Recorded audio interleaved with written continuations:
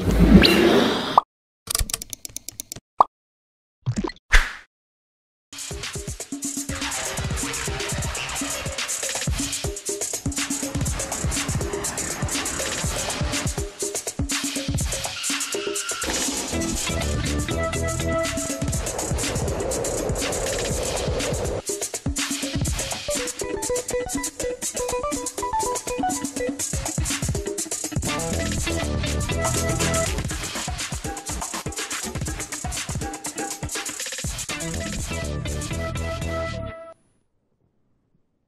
Buenos días, Ecomundo. Ojalá 4RD.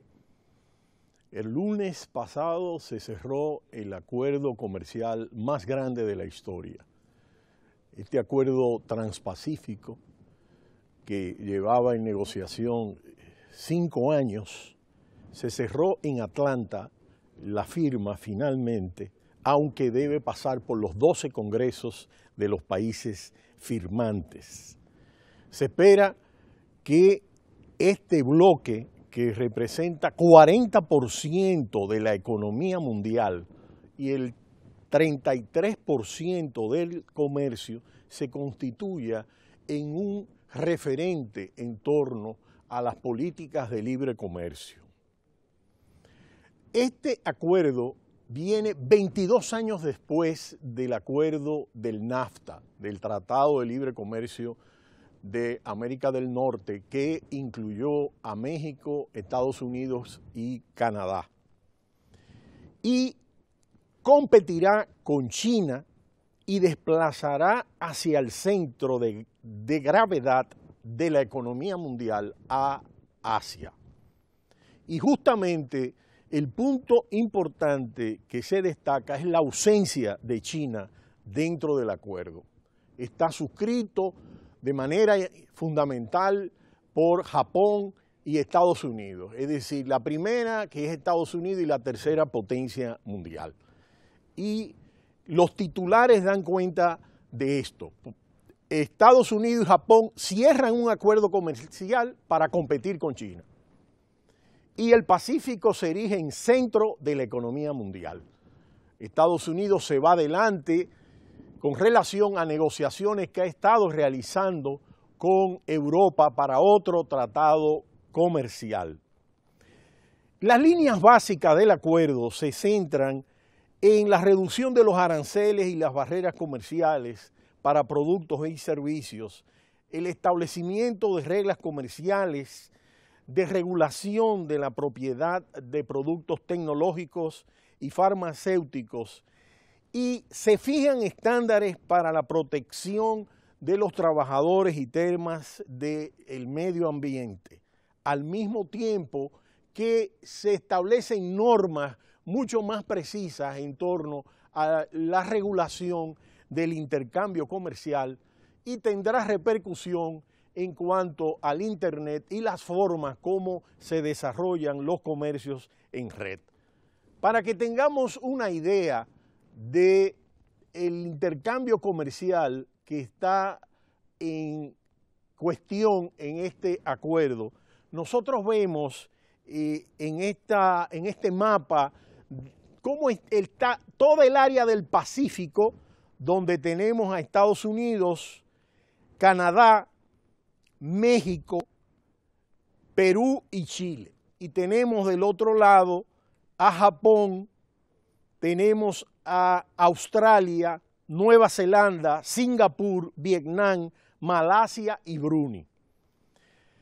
El intercambio comercial de Estados Unidos con estas eh, economías, en el caso de México, 308 mil millones de dólares. En el caso de Japón, 115 mil millones de dólares. En el caso de Canadá, 341 mil 700 millones de dólares, para que tengamos una idea de los montos involucrados dentro del acuerdo. Los aspectos más importantes que están en juego desde el punto de vista de los defensores está en que va a promocionar las exportaciones y va a incrementar el empleo, aunque hay posiciones encontradas en torno a este aspecto. Se espera que 223 mil millones anuales estén en juego en el intercambio, de los cuales 77 mil millones corresponderían a los Estados Unidos.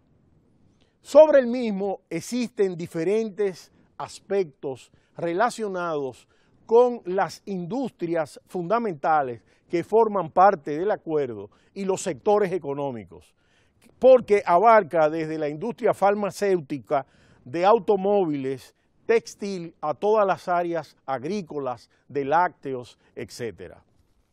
Vamos a centrarnos en los aspectos básicos que implica el acuerdo desde el punto de vista de Estados Unidos y ya veremos los obstáculos y las referencias en relación a los otros 11 países. Este acuerdo está colocado dentro de uno de los puntos más importantes en el último tramo de la gestión del presidente Obama, que termina su mandato en enero del 2017.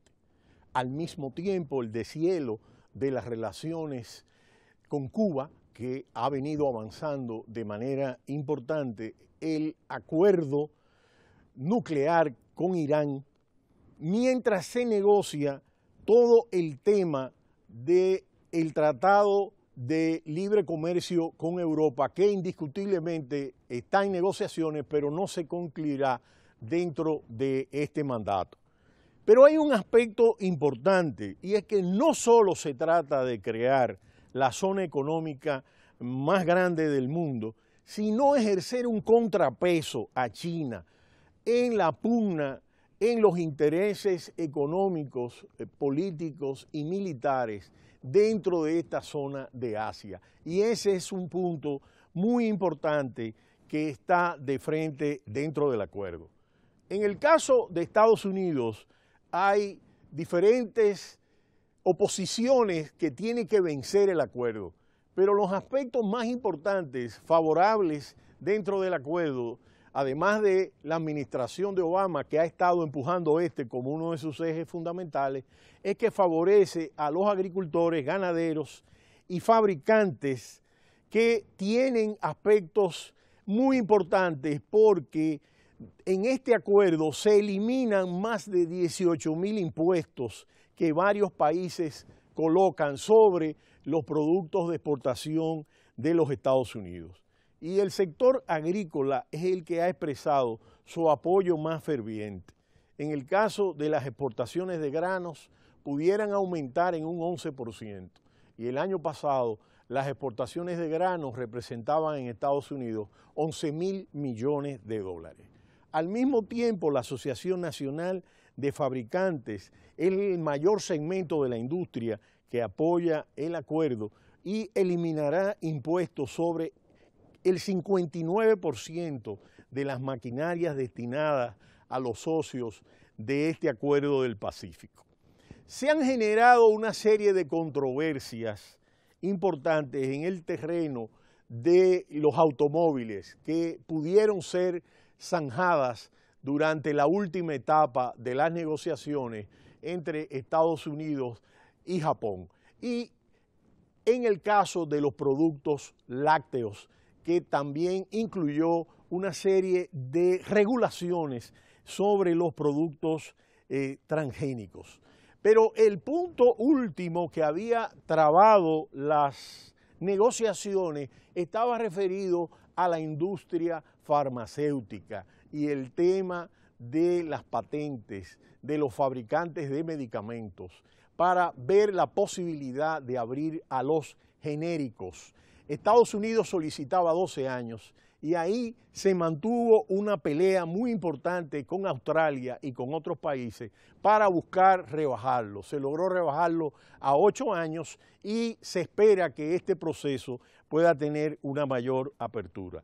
En el caso de Estados Unidos, que es el caso más complejo dentro de la introducción al Congreso, recordemos que los 12 congresos deben aprobar esto, se someterá en febrero del 2016 y los principales actores en conflicto con el acuerdo están organizaciones no gubernamentales, sobre todo justamente en torno al precio de los medicamentos, sindicatos estadounidenses que están convencidos que este acuerdo plantea deslocalizaciones industriales que va a afectar el nivel de empleo y la experiencia del acuerdo de libre comercio del norte que involucró a Canadá, Estados Unidos y México y que para los sindicatos indiscutiblemente que afectó el nivel de la clase media y de los sectores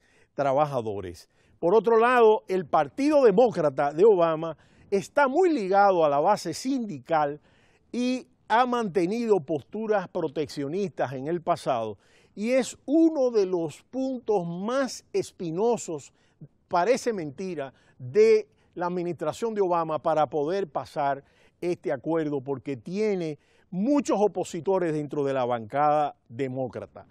Para los sindicatos esto solo beneficia a las corporaciones y afecta el nivel y el ritmo de vida de los trabajadores. Ahora, ¿qué resulta? Que cuando nosotros vemos la relación del Partido Demócrata con los sindicatos y la relación del Partido Demócrata en torno al problema del proteccionismo, vamos a ver cómo se manejan esto. El Partido Republicano ha sido más favorable en torno al libre comercio y ellos aprobaron una vía rápida para Obama hace unos meses que le permitirá introducir la iniciativa en el Congreso. Ahora, existe en este momento una campaña presidencial y se espera que esto sea un tema conflictivo para afectar la campaña. Ahora bien, hay un elemento importante y es que Donald Trump, por ejemplo, y Donald Trump está arrastrando a los otros líderes republicanos, está tomando la bandera proteccionista como un aspecto importante de su discurso de política económica y indiscutiblemente que este va a ser un factor de debate de si afecta los intereses de los empleos en los Estados Unidos. Ya veremos cómo la renuncia de John Boehner, el presidente de la Cámara Republicana, puede afectar. Finalmente, como dice el experto Xian Bin, chino, un experto en relaciones internacionales y en comercio internacional, las compañías chinas podrían verse en desventaja frente a este acuerdo y China lo ha estado viendo con mucha suspicacia, dado que está en un nivel que afecta este intercambio comercial y a partir de ahí China va a buscar acelerar su ritmo de negociaciones con otra fuerza. Es importante plantear que ya China tiene acuerdo con ocho de los 12 países miembros de este acuerdo. Y lo importante es, al igual que otros países que tienen acuerdos de libre comercio, cómo estos acuerdos se van a homogenizar. Pero lo importante es qué va a pasar en los 12 congresos para pasar esta iniciativa de comercio mundial que es la más importante en la historia económica del mundo. Pero será hasta mañana cuando vuelva Ecomundo, ojalá 4RD. No le cambie, cita cultural.